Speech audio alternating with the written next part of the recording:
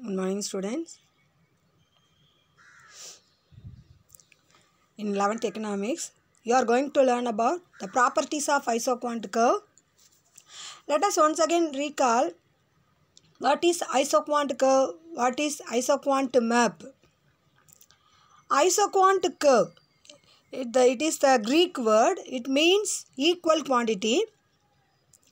Isoquant is a curve drawn by joining the combination of changing the quantities of two or more inputs which give the same level of output.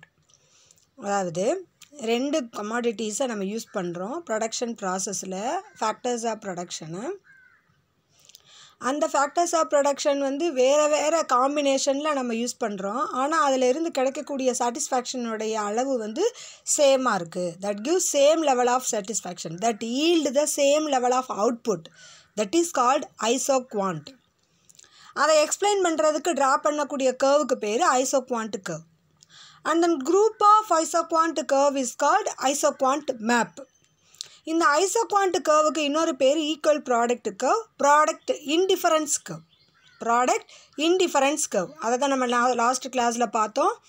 And then எப்படி isoquant curve draw பண்ணுறது ஷெட்யூலை வச்சு. And isoquant map a group of isoquant curves different isoquant curves representing the different combination of factors of production yields different level of output.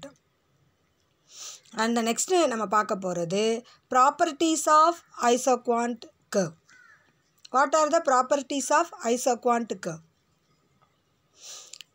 மேலே உங்களுக்கு வந்து ஒரு draw diagram கொடுத்துருக்காங்க பாருங்கள் தட் இஸ் ஐசோக்வான்ட் கர்வ் அதோடைய ஷேப் எப்படி இருக்குது அதோடைய கேரக்டரிஸ்டிக்ஸ் எப்படி இருக்குது எப்படி இருந்தால் ஐசோக்வான்ட் கர்வ் வந்து நமக்கு கிடைக்கும்? அப்படின்றது தான் இங்கே concept so let's learn the properties of isoquant curve first thing is the isoquant curve has negative slope isoquant curve வந்து நெகட்டிவ் ஸ்லோப்பாக இருக்கும். அது மேலிருந்து கீழ் நோக்கி ட்ரா பண்ணுவோம் ஏன்னா ஏலேருந்து ஏலேருந்து டிக்கு ட்ரா பண்ணியிருக்காங்க பாருங்கள் red colour line so isoquant கர்வை வந்து நம்ம எப்படி ட்ரா பண்ணணும் அப்படின்னு பார்த்தீங்கன்னா மேலேருந்து கீழ் நோக்கி வரையணும்.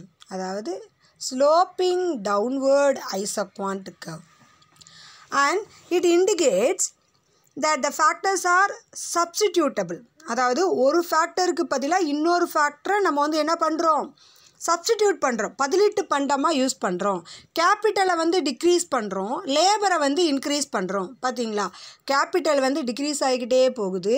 அடுத்து லேபர் வந்து இன்க்ரீஸ் ஆகிக்கிட்டே போகுது. இதை தான் நமக்கு இந்த டயக்ராம் சொல்லுது.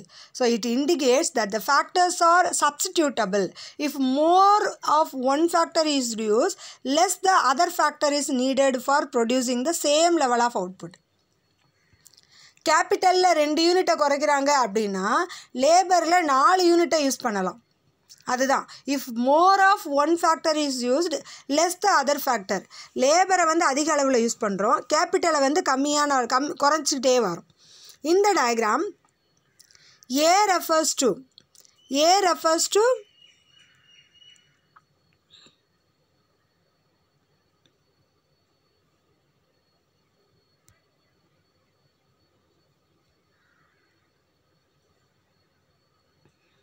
A refers to more of capital K3, more of capital K3 and less of labor L2.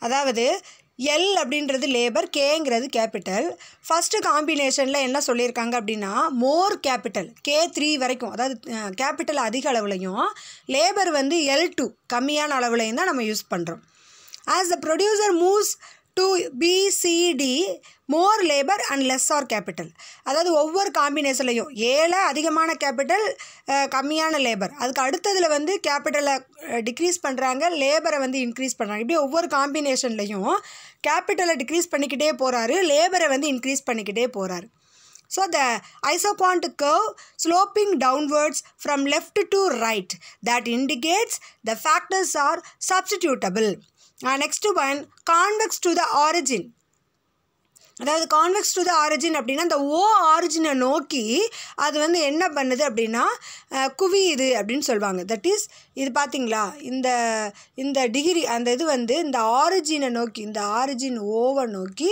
இந்த இடத்துல வந்து அது வந்து கான்வெக்ஸாக இருக்குது குவியுது அப்படின்னு சொல்கிறாங்க அப்படி இருந்தால் என்ன அர்த்தம் அப்படின்னா convex to the origin explain the concept of diminishing marginal rate of return. இது எதை நமக்கு இண்டிகேட்ஸ் பண்ணுது அப்படின்னா marginal diminishing rate marginal rate of sub technical substitution அதாவது ஒரு லேபருக்கு ப ஒரு ஃபேக்டருக்கு பதிலாக இன்னொரு ஃபேக்டரை நம்ம வந்து சப்ஸ்டிடியூட் பண்ணுறோம் அப்படின்னா ஒன்றுலேருந்து கிடைக்கக்கூடிய அந்த return rate of return output வந்து குறைஞ்சிக்கிட்டே போகுதுன்னு அர்த்தம். அதுக்கு தான் அதுக்காகத்தான் நம்ம அதிக அளவில் அந்த ஃபேக்டரை வந்து நம்ம யூஸ் பண்ணுறோம் Capital substituted by one unit of labor goes on decreasing when moved from top to bottom. If so, it is called diminishing marginal rate of technical substitution.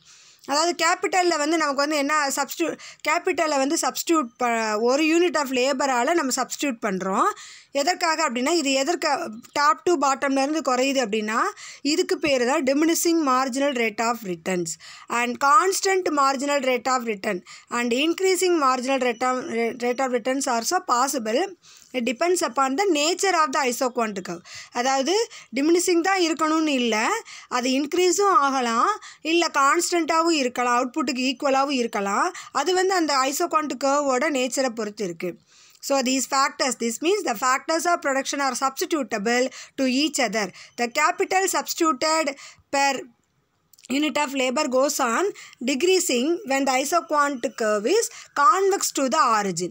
அதாவது லேபருக்கு பதிலாக கேபிட்டலுக்கு பதிலாக லேபரை வந்து இவங்க கொடுக்க கொடுக்க அந்த ஐசோக்வாண்ட் கர்வ் வந்து கான்வெக்ஸ் டு த ஆரிஜின் அதாவது அந்த ஆரிஜினை நோக்கி கான்வெக்ஸாக இருக்குது.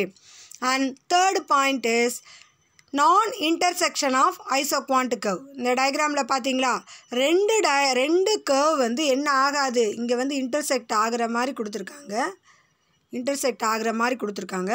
ஸோ இந்த மாதிரி ஆகாது. இன்டர்செக்ட் ஆகாது. அதுக்கு பாசிபிலிட்டிஸ் ரொம்ப ரொம்ப கம்மி தான் அண்ட் தென் பா ஃபார் இன்ஸ் point A lie on the isoquant IQ one IQ two point A வந்து எங்கே இருக்குது ஐசோக்வான்ட்டு ஏலையும் uh, ஐசோக்வான்ட்டு சாரி ஐசோக்வாண்ட் ஒன்றுலையும் ஐசோக்வான் டூலையும் இருக்குது ஏங்கிற பாயிண்ட் வந்து ரெண்டு கர்வ்லையுமே இருக்குது and then B shows the lower level of satis output and A shows the higher level of output. If C is equal to A, B is equal to A, then C is equal to B, but C is greater than B, which is illogical. இந்த மாதிரி இருக்கிறதுக்கு chance இல்லை அதாவது சியும் ஏவும் ஈக்குவலாக இருக்காது பியும் ஏவும் இரு ஈக்குவலாக இருக்க சான்சஸ் இல்லை அதனால் இது வந்து இல்லாஜிக்கல் அப்படின்னு சொல்கிறாங்க so no no intersection of two isoquant curves there are no possibilities to intersect two isoquant curve and last one and upper isoquant curve represent higher level of satisfaction and lower level of isoquant curves represents lower level of satisfaction IQ three show higher outputs and lower IQ show lower outputs அதாவது இங்கே பாருங்கள் நம்ம அந்த குவா இந்த இதில் பார்த்தோம் இல்லையா? ஐசோக்வாண்ட் மேப்பில் பார்த்தோம் இல்லையா? அதை தான் இங்கேயும் சொல்லியிருக்காங்க. குரூப் ஆஃப் ஐசோக்வாண்ட் கர்வ்ஸை ட்ரா பண்ணியிருப்பாங்க.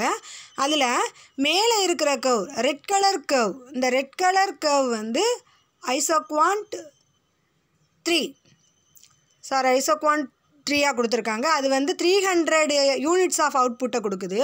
கீழே கொடுத்துருக்கக்கூடிய ஐசோக்வான்ட்டுக்கு IQ one high hundred percentage hundred யூனிட்ஸை கொடுக்குது. ஸோ இந்த மேலே இருக்கக்கூடிய ஐசோக்வாண்ட்டுக்கு வந்து higher ஐசோக்வாண்ட்டுக்கு represent higher level of satisfaction higher level of you அவுட்புட்டை கொடுக்குது. Lower ஐசோக்வாண்ட்டுக்கு represents lower level of output and then arrow இந்த figure shows and increase or decrease அதாவது அது என்ன பண்ணுதுன்னு பாருங்கள் இன்க்ரீஸ் ஃபஸ்ட்டு கர்வ் வந்து இன்க்ரீஸ் ஆகுது. செகண்டில் வந்து டிக்ரீஸாக தான் இருக்குது and fifth one isoquant curve does not touch either X axis or Y axis isoquant curve பார்த்தீங்களா? இந்த ஐசோக்வாண்ட் கர்வ் வந்து எக்ஸ் ஆக்சிஸையும் டச் பண்ணாது ஒய் ஆக்சிஸையும் டச் பண்ணாது. எக்ஸ் ஆக்சிஸை டச் பண்ணலைன்னா என்ன அர்த்தம் அப்படின்னா நம்ம லேபரை வந்து இன்புட்டாக கொடுக்கவே இல்லை. Zero labour input is zero அப்படின்னு அர்த்தம். காம்பினேஷன் ஆஃப் லேபர் இஸ் ஜீரோன்னு அர்த்தம். அதே மாதிரி ஒய் ஆக்சிஸ் ஒய் ஆக்சிஸில் சியை வந்து அந்த ஐசோகான்ட்டுக்கு டச் பண்ணுச்சு அப்படின்னு சொன்னால் நம்மளுடைய அந்த ஐசோகான்ட்டுக்கு நம்ம யூசேஜ் ஆஃப் கேபிட்